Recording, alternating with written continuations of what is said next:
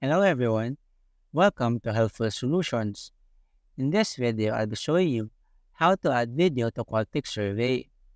First, open your browser and log into your Qualtrics account.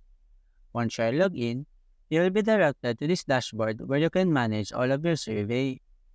Now, find the survey for which you want to add a video and click on it to enter the survey editor. In this survey editor page, locate the point where you want to insert the video. Click on this Add Block button to create a new section or locate an existing block where you want to integrate the video.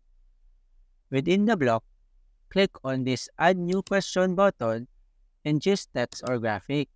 In this left panel, change the content type to graphic.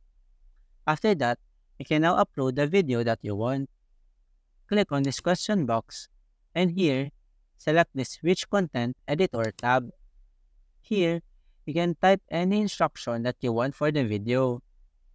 After that, you can now upload the video. For example, go to the YouTube video that you want to upload. Then here, just copy the link of the YouTube video. After that, go back to the survey editor page and click on this insert media icon.